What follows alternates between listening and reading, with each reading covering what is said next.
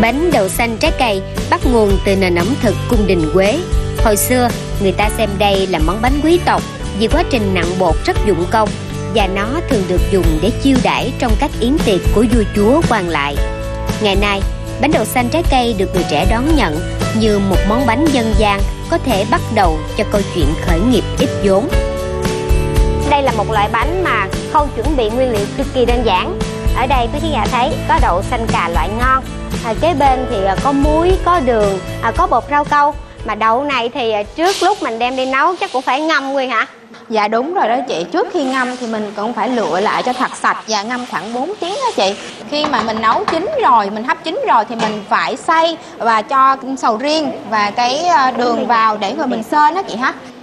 Và mình phải để nó nguội rồi để nó sánh lại và để, để mình tạo hình. Khâu chuẩn bị đơn giản bao nhiêu thì lúc tạo hình trái cây lại kỳ công và tỉ mỉ bấy nhiêu. Có thể nói đây là công đoạn đòi hỏi sự khéo tay và cả óc sáng tạo. Từ cách tạo hình cho đến khâu tô màu phải bật lên được nét đẹp tinh tế của món bánh. Về chất lượng, nếu không có lớp vỏ đông sương dẻo dai này thì độ ngon của bánh giảm đi một nửa. Bánh sẽ giòn hơn nếu áo thêm lớp rau câu thứ hai. Người thợ khéo tay sẽ còn dùng lá thật trang trí để những phiên bản trái cây tí hon thật sự bóng đẹp và cuốn hút.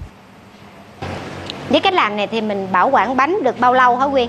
Dạ với cách làm này thì mình bảo quản bánh có thể ở ngăn mát thì một tuần lễ á chị Còn nếu mà ngăn đông thì có thể hơn 2 tháng á chị Ừ. Và đối với em á thì á, em có ba tiêu chí đó là sản phẩm á, à, bên ngoài thì phải bắt mắt còn bên trong á, thì phải ngon và đặc biệt á, là phải an toàn vệ sinh thực phẩm nữa chị Thưa quý khán giả, à, những chiếc bánh quá xinh xắn, quá đáng yêu Hỏi sao không là điểm nhấn trong các dịp lễ Tết hay là tiệc gia đình? Và tôi nghĩ rằng à, trải nghiệm làm bánh đậu xanh trái cây Cũng là một trải nghiệm khá thú vị đối với những gia đình có con nhỏ.